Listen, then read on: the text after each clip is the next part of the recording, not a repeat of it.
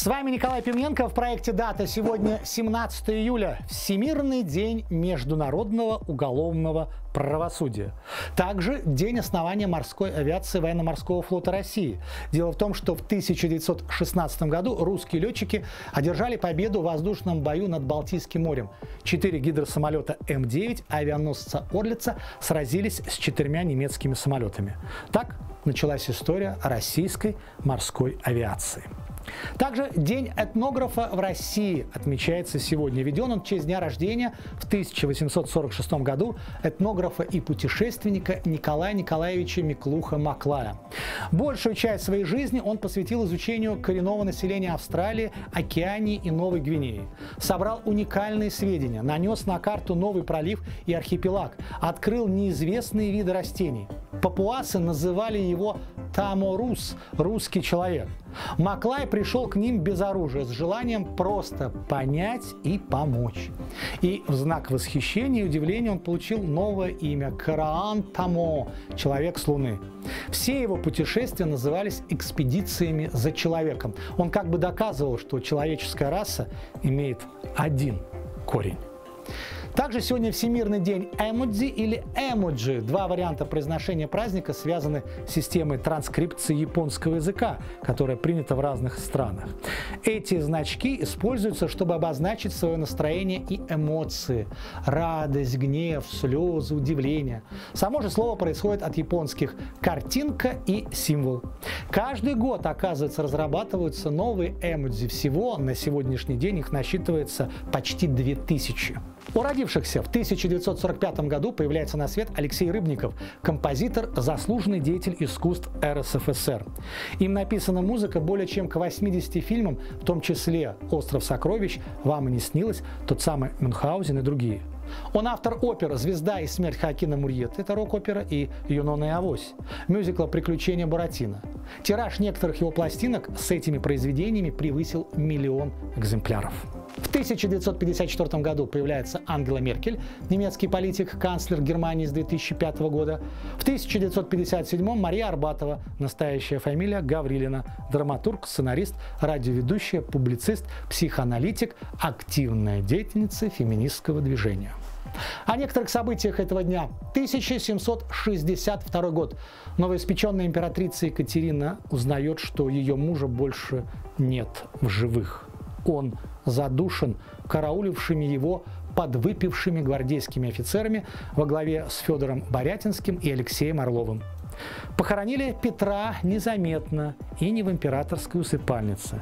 Формально это оправдывалось тем обстоятельством, что Петр так и не был коронован. Император процарствовал всего 186 дней. После смерти матери уже император Павел шокирует всех приказанием извлечь ислевшие останки отца из могилы, короновать и торжественно захоронить вместе с останками матери. Так он попытался восстановить попранную справедливость. 17 июля 1793 года в Париже казнена 24-летняя Шарлотта Корде – убившая вождя якобинской диктатуры Марата. Она сравнивала себя с орлеанской девой Жанной Дарк, собираясь принести в жертву себя интересам Родины.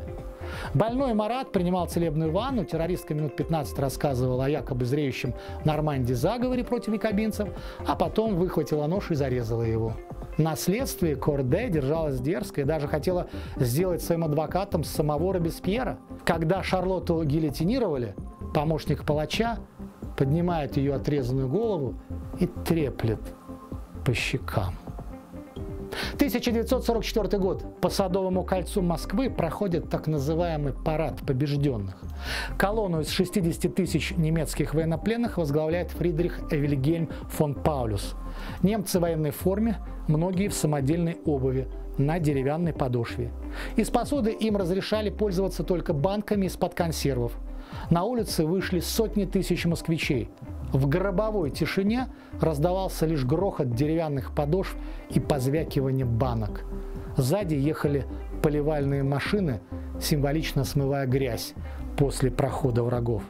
Парад в кавычках закончился к 7 часам вечера, когда все пленные разместились по вагонам и были отправлены в места заключения. 1945 год. 17 июля по 2 августа проходит Берлинская Потсдамская конференция Сталина, Трумэна и Черчилля. С 28 июля его заменит новоизбранный премьер Этли. Принято решение о демилитаризации и денацификации Германии, уничтожении германских монополий, о репарациях, о западной границе Польши. Подтверждена передача СССР города Кенигсберга и прилегающего к нему района. Это первый выход в свет Сталина в новеньком мундире генералиссимуса, первый выход президента США Трумэна и последнее крупное событие в политической жизни Уинстона Черчилля. 1955 год. К югу от Лос-Анджелеса открывается первый детский парк Диснейленд. Волшебная страна героев диснеевских мультфильмов.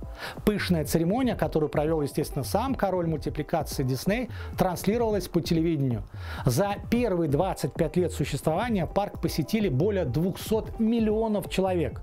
В 1971 году второй американский Диснейленд появился во Флориде, а в 1983 подобный парк открылся под Токио. И еще в 1992 под Парижем. И, судя по всему, еще будет открываться. 1975 год. Стыковка Союза и Аполлона. Впервые встреча представителей двух ведущих космических держав проходит на столь высоком уровне в буквальном смысле этого слова. Первыми пожимают руку друг другу Алексей Леонов и Томас Стаффорд. 1986 год. Во время телемоста Ленинград-Бостон звучит фраза «У нас в СССР секса нет». Об этом с экрана телевизора заявляет симпатичная молодая женщина. Ведущими телемоста были популярные тележурналисты с нашей стороны Владимир Познер, с их Фил Донахью. Хотя на самом деле было и продолжение фразы «В СССР секса нет, а есть любовь». Но все ее объяснения были вырезаны и оставлена лишь фраза «У нас в СССР секса нет». Ведь на самом деле это была не прямая трансляция, но кто будет рисковать? Телемост был показан по телевидению, говорят, лишь спустя два месяца. Он вышел в эфир только после личного одобрения Горбачева. Ну и последнее. 1918 год, 17 июля в Екатеринбурге расстреливают последнего российского императора Николая II и членов его семьи. В половине 12 ночи 16 июля заместитель областного комиссара юстиции Юровский приказал отвезти содержавшуюся в Ипатьевском доме царскую семью с челядью в подвал. Первым шагнул к ступеням Николай II с наследником Алексеем на руках. К нему присоединилась супруга Александра Федоровна.